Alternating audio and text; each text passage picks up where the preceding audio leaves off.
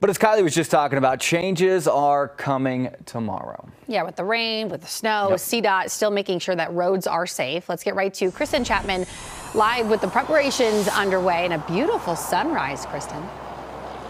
Good morning. Yes, it's beautiful out here in Genesee this morning. A little chilly, but overall lovely. And as you know, in true Colorado fashion, these weather changes, they happen pretty quickly. So what we want to get ahead of is Colorado Department of Transportation making sure the roads here are safe. So this is I-70 that you're looking at. And you know, when all that moisture falls on the roads, the fear is that it might freeze and that creates ice and that creates all those car accidents we see time and time again. So they're working to just stop that from happening in the first place. CDOT keeps 23,000 miles of highways cleared, telling us they sent out plows at the very start of the storm. Then they apply liquid de-icer when snow begins to fall. So that's their plan. Crews do work both overnight and during the day. CDOT now reminding drivers to give snowplows plenty of room, three to four car lengths. Do not pass them on the right.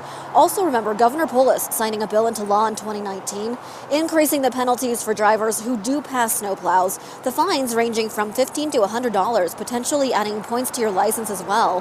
But here's what some locals said is important to them.